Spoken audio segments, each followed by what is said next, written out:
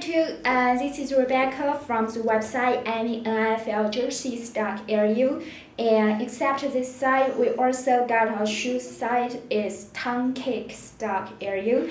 Uh, for the NFL jerseys, they .com and .lu both work. And here is a review about the Dallas Cowboys jerseys. And as you can tell, for this one is the elite version. Uh, the elite version got the meshes on this part, front and back, both. Okay. Uh, Cowboys is one of the five teams that don't have the flyway on the neck part. Okay, and so um, this part is flexible. Okay, uh, the flexibility is not so good, but still got the flexibility for it. And here goes this paper tag. Got four of them. Okay.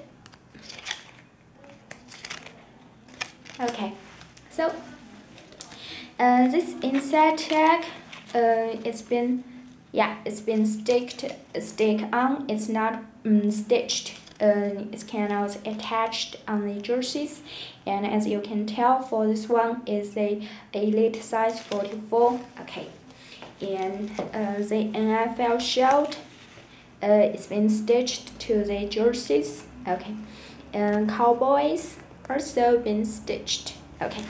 And here goes this number. Uh, double actually is triple stitched, number 29. Okay, the meshes on the bottom. Okay, uh, the jock tag also been stitched to these um, jerseys.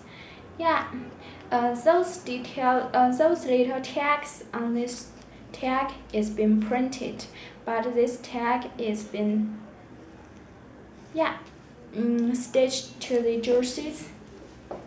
And on the shoulder, uh, we see the player's number and Nike tag, along with this um, Cowboys tag, or, or those three is been stitched to the jerseys. Okay, here it goes.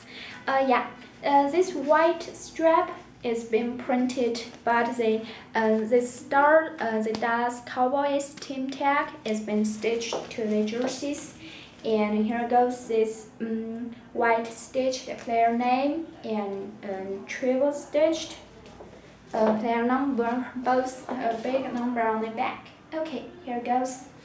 Um, this is pretty much all for this uh, jerseys reviews and this is Rebecca from the website and NFL jerseys dot NFL jerseys okay uh, $22 for the jerseys price and free shipping for uh, over $222 okay uh, that's pretty much all for these reviews and now bye